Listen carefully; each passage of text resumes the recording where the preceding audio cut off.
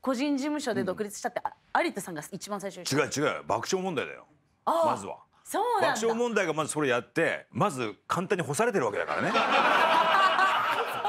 もうちょうど勢いがめちゃくちゃある時期よ、そうなの？あの爆笑問題がいわゆる若手ですごいのが出てきたよって言われててお俺らがテレビ見てる時代まだそれが事務所をまあ何かの理由で辞めるってなったら事務所を辞めるってことはそういうことだからっていうことで仕事がもうなくなって、でしょうがないから俺たちの世代一個下のこうボキャブラ天国の、せ後輩なんだよ俺たち全員。その世代にこうだから一緒にこう最初出て出てった時って、なえなんなんで先輩なのにって感じだったよ。ああそうだったんだ、本当だったらプライド許さないと思うのよね、まあ後輩の中に食炭されてた。でもそこの中でやっぱ全力でやってるわけよ。しかもなんだったら俺たちなんかよりも経験が豊富だからもう全力でやれ。ば絶対勝つよね。あこっちの方でもね